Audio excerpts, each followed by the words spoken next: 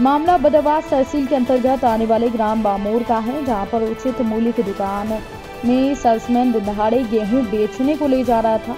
तभी ग्रामीणों ने वीडियो बना दी और उससे बोला, कि अगर तुम ये गेहूँ बेचने जाओगे तो मैं वीडियो वायरल कर दूँगा। जैसे सेल्समैन को जानकारी लगी, ग्रामीणों ने वीडियो बना ली है तो सेल्समैन ने सारे गेहूँ वापस उचित मूल्य की दुकान में रखवा दिए। ग्रामीणों का आरोप है कि जब भी हम शिकायत की बात करते हैं तो सेल्समैन मारने की धमकी देता है और इसकी तरह दबंगई दिखाता है। आपको बता दें कि पूरा राशन नहीं देता।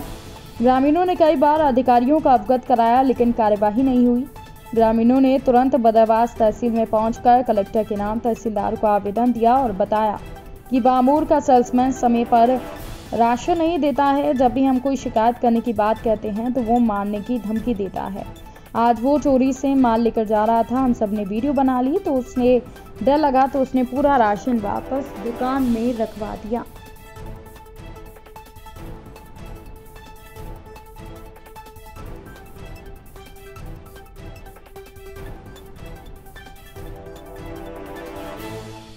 ग्राम बामर में जो कंट्रोल है, यहाँ पर कंट्रोल पे जो माल बेचा जा रहा था तो ग्रामीणों ने वीडियो बनाई तो वीडियो बनाने पर ही ग्रामीणों को गाली दी जा रही थी।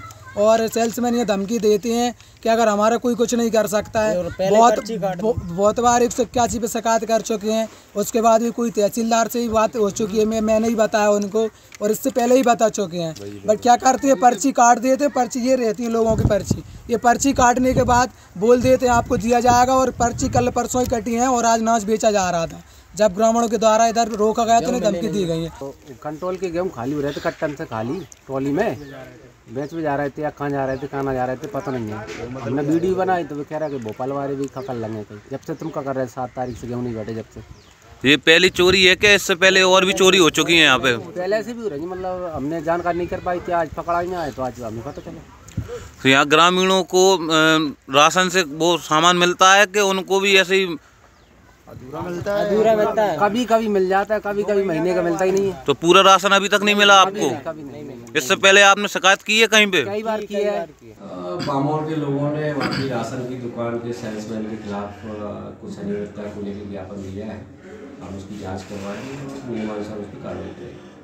सर ग्रामीणों का कहना है कि टाइम पर ना तो नाज मिलता है और जो जो उनका राशन है उसके हिसाब से राशन भी नहीं मिलता है। वो उन्होंने कई बार भी शिकायत कर दी है तहसीलदार को भी की है एडीएम साहब को भी की है लेकिन अभी तक कोई कार्रवाई नहीं की गई।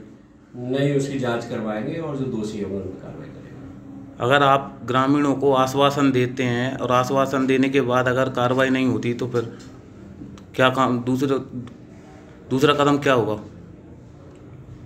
क्या क्या कहना चाह रहे हैं? अगर आप ग्रामीणों को आश्वासन देते हैं कि हम इतने दिनों में कार्रवाई करेंगे अगर कार्रवाई नहीं होती है तो दूसरा कदम क्या होगा आपका? दूसरा कदम हमारा क्या होगा? हम कार्रवाई जाँच करेंगे दोषी पाए जाए कार्रवाई करेंगे। यदि आप लोगों को लगता है हमारी कार्रवाई से संतुष्ट है तो आप जो उनका मूल विभाग है पूर्व में भी शिकायत कर सकते हैं वो लोग भी जाँच कर सकते हैं। एसडीएम साहब के यहाँ भी कर सकते हैं वो भी कर सकते हैं।